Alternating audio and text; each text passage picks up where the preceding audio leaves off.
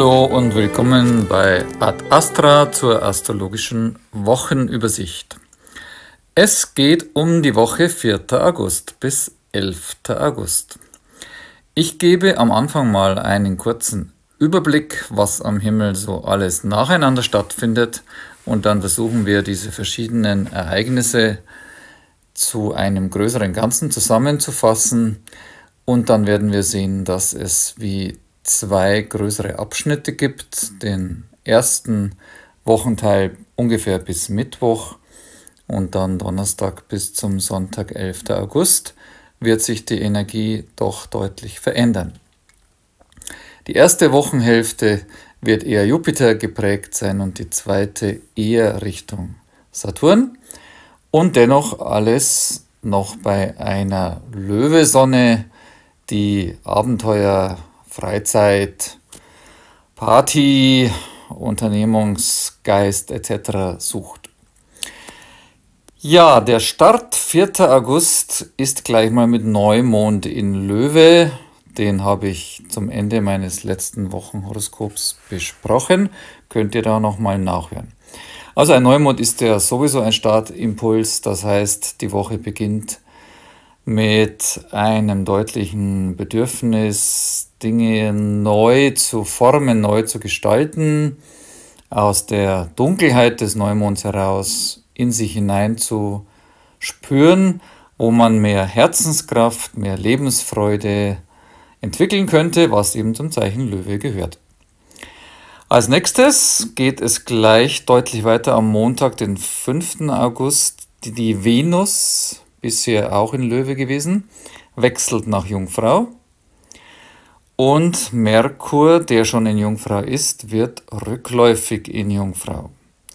Er ist die ganze Woche so etwa von 4 bis 2 Grad Jungfrau stationär. Das heißt, er bewegt sich kaum, bleibt meistens auf dem auf 3 Grad Jungfrau fast stehen.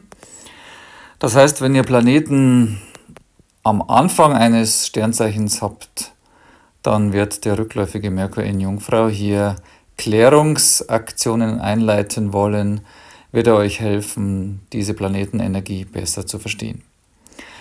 Also, wir haben Venus und Merkur beide in Jungfrau, so dass diese Woche einerseits zwar vom Feuer und dem der, der Kraft und der Motivationsenergie des Löwen erfüllt ist, Sonne in Löwe, aber gleichzeitig eben auch die eher kritischere, analytischere, kopfbetontere Seite des Zeichens Jungfrau ebenfalls sehr wichtig ist.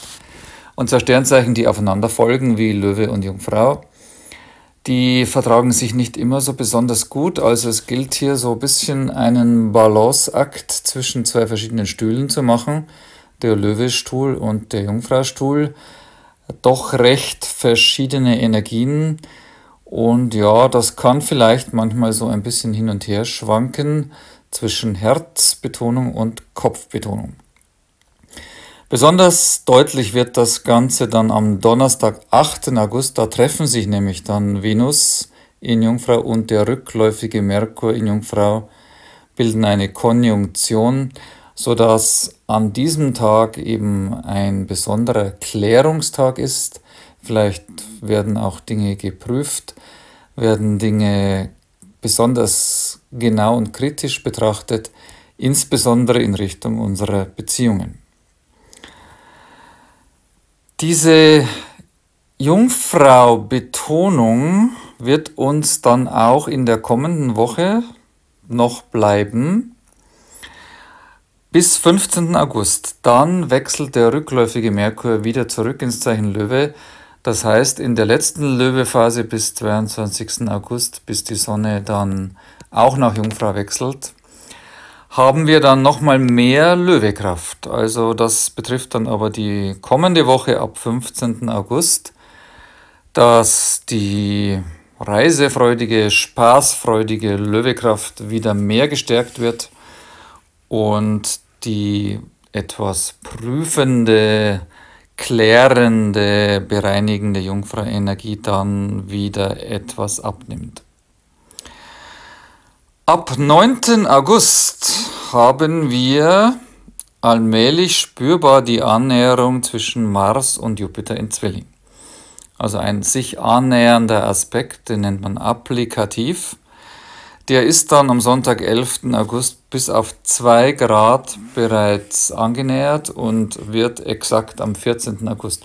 Aber wir werden ab Mitte der Woche diese Mars-Jupiter-Energie in Zwillinge besonders deutlich spüren und das ist ein hoher Lern- und Redebedarf, ein Tatendrang bezüglich unserer, unseres Intellekts, unserer Bildung und Fortbildung. Was finden wir noch? Am 7. und 8. August, also am Mittwoch, Donnerstag, in der Mitte der Woche steht Lilith in Waage gegenüber vom Mondknoten in Widder. Hier haben wir also die Ich-Du-Achse betont, was bekommt eben mehr Aufmerksamkeit. Lilith in Waage sucht Ausgleich und Gerechtigkeit, Emanzipation in Beziehungen. Das wird besonders am Donnerstag, den 8. August, durch den Mond in Waage, der in Konjunktion zur Lilith tritt, stark betont. Also hier haben wir eindeutigen Zeigefinger auf Beziehungsgeschehen, wo hier Ausgleichsprozesse, Klärungsprozesse, Sichtungsprozesse stattfinden sollten, unterstützt eben durch die Jungfrau-Energie und auch unterstützt durch die eben genannte Zwillingskraft, wo eben viele fruchtbare Gespräche stattfinden könnten, weil ja Mars und Jupiter durchaus einen Drang nach Sinnfindung produzieren und den kann man hier auch auf der Beziehungsebene gut einbringen. Ja, ich habe am Anfang gesprochen von sozusagen zwei Wochenhälften und die erste Wochenhälfte, Sonntag bis Mittwoch, 7. August, die ist jetzt noch zusätzlich geprägt von einem Sonne-Jupiter-Sextil. Das heißt, die erste Wochenhälfte hat also einen hohen Entwicklungsdrang. Da ist eben auch wieder die schon genannte Sinnfindung des Jupiters betont. Wenn wir das eben in Verbindung mit den genannten Jungfrau-Energien von Venus und Merkur in Jungfrau nehmen, dann sehen wir, dass hier die analytische Kraft von Merkur in Jungfrau zusammen mit dieser entwicklungsfreudigen, öffnenden Kraft des Jupiter zusammenkommt. Wir könnten das vergleichen mit einer Psychoanalyse. In so einem Prozess wird viel geredet, da werden viele Dinge auf den Tisch gebracht, aber nicht um des Redens willen, nicht äh, um einfach irgendwie sich verbal abzureagieren, sondern um Strukturen zu erkennen, um zu herauszufinden, welchen Sinn bestimmte Prozesse auch in der Vergangenheit hatten. Der rückläufige Merkur führt uns ja gedanklich diese Woche bereits immer wieder in die Vergangenheit und möchte uns aufzeigen, wo wir jetzt uns Richtung Zukunft entwickeln können, indem wir alte Muster erkennen, verstehen, durchblicken.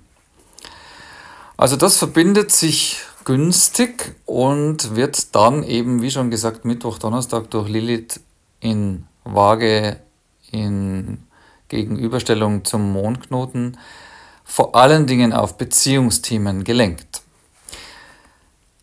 Die zweite Hälfte der Woche vom Donnerstag bis zum Samstag wird betont sein oder wird geprägt sein durch die Löwesonne, die nun ins Quincunx, also in einen Suchaspekt zu Saturn in Fische tritt. Das ist mehr so ein Ja-Aber-Aspekt.